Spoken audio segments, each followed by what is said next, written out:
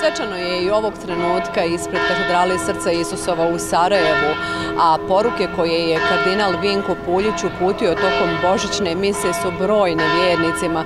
Između ostalog je ukazao na to da se čovjek danas otuđio od Boga, ali da se isto tako ljudi otuđili jedni od drugih, iako je zapravo um, u biti njihovog postojanja trebalo da bude zajedništvo i da su oslonjeni jedni na druge.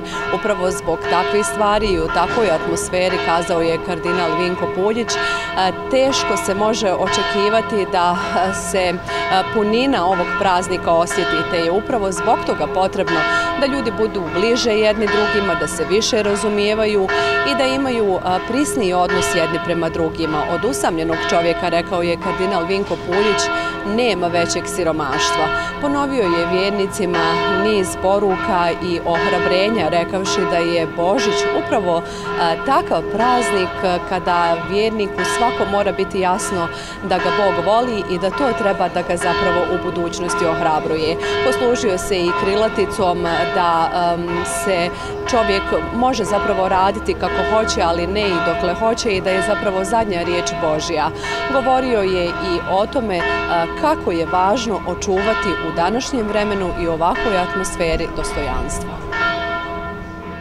I danas u ovoj čudnoj atmosferi koja vlada zveckanjem oružja i širenjem mržnje i naglog prestiža čija će biti gornja, gazeći po ljudskim glavama.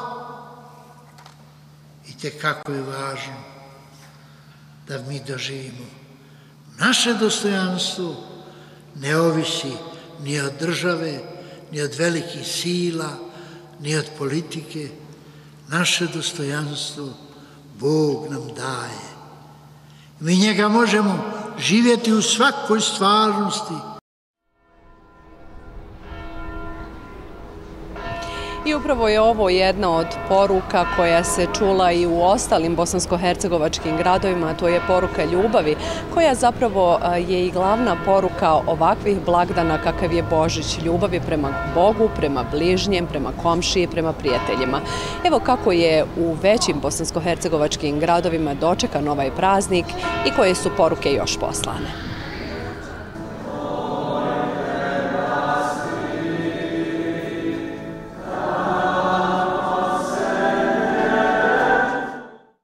Dođe ovdje malo, znaš, osjeti se, osjeti se raspoloženje ljudi, malo ćete gdje ljudi na cesre da se osmije. Sve mi znači Božić u životu, sve, sve da. Kao čast i slava u sve vijeke vijeko. Uobičajno je govoriti da je ovo blagdan obitelji, blagdan mira, blagdan otvorenost jednih prema drugima i to sve u sebi jest Božić. Jedna priprava dugotrajna za Božić da se dočeka u miru. Isusovo porođenje najprije nađi sveta obitelj i eto.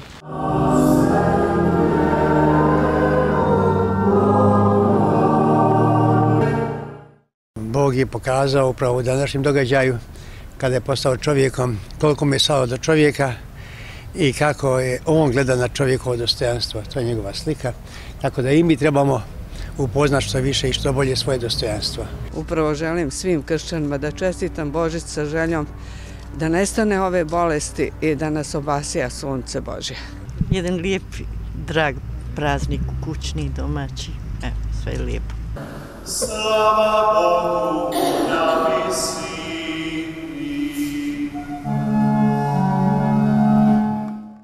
Koliko god bilo naših pitanja i koliko god bilo naših strahova, svih ti depresivnosti koje nosimo i sve težine i, i mraka kroz koji hodimo i sve nesigurnosti, ipak ima jedna sigurnost.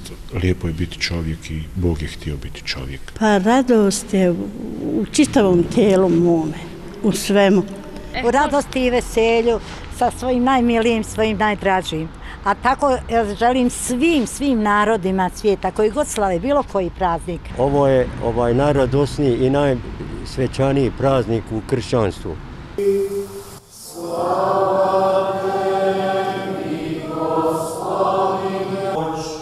u kojoj slavimo dolazak novog svjetla. To je stara praksa kako ovdje dolaze i vjernici, bišćani, bišćanke, naši sugrađani, dakle, da, da podijele s nama radost, jer zaista Božić je e, blagdan radosti, a što je ljepše nego tu radosti podijeliti sa svojim susjedima i komšijama. Uzbuđenje za djecu, za, pa i za nas odrasle, zajedništvo.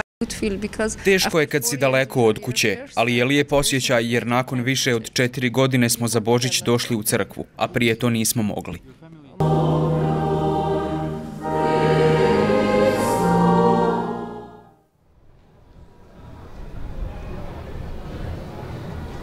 Vjernici se nadaju da će već naredni Božić dočekati uz tradicionalnu ponoćku, odnosno ponoćnu misu, koja zbog koronavirusa u katedrali Srca Isusova ovdje u Sarajevu sinoć nije bila služena.